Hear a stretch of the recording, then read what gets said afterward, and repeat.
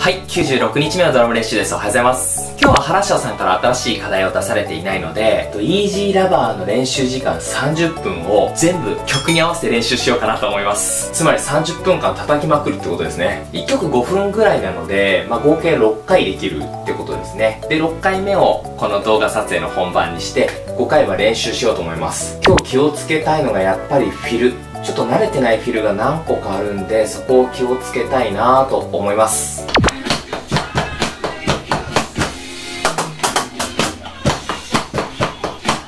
はいというわけで5回練習しました。